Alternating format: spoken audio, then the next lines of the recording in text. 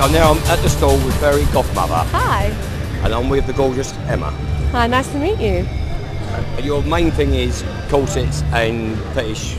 Yeah, we, we specialise in probably one of the biggest ranges of corsets you'll ever see in England. We have corsets from Europe, Germany, America, and even some from up north as well. Um, Ferry Gotham has been going for about seven years. We first started out in Camden, a very, very small little shop, about the size of a sweet shop, and we've sort of expanded. Now we have two shops, one in Camden, which is slightly larger, and one in Spitalfields.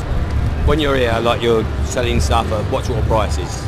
Um, it can range anything from £99 up to 500 plus.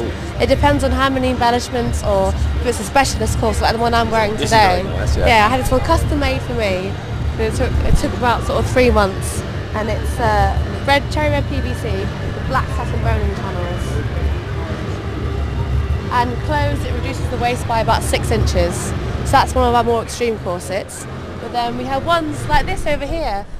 Start about from £155 upwards. Oh, you do you, you do do these for men, not just Yeah, friends. this this one that I'm wearing here, wears such a long line corset, it works really really well on, on men because it brings them in and does give them quite good hips as well. So yeah, it brings you Can, out. can you guess that I've got one on? No, not at all, darling. it's completely natural. So, look, Gloria, hi. How are your ovaries? Uh, can you um?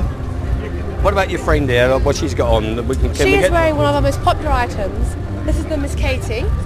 So Miss Katie, Katie. yep, and she's got lovely. She's got it in black taffeta, and she's got it in the uh, ivory frills on the side, and one of our gorgeous petticoats underneath. the, the petticoat for someone like me is fantastic. Yeah. You know, we like the feel and the It's so glamorous as well. Yeah, it, it looks nice, but it's the feel as you walk. Mm. Most women think it's just so natural to wear a skirt, and they, they miss out. Yeah. And And what, one of the what- petticoats, what is when that? she- Is that uh, is like? Do you ever do things in taffeta and things like Yes, that? Yes, we do. Um, this is one of these petticoats would work really well. Follow me. Yeah, we're gonna. Well, I'll get.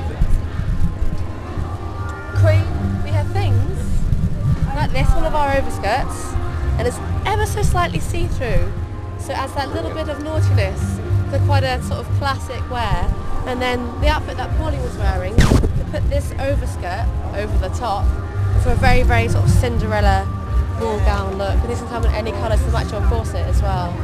So I could get one of these on in cherry red PVC if I wanted. And I should think uh, these must sell very quickly Oh, strippers love them. Little girls love them. Not that in the same. it doesn't matter what age the little girls Yeah. are.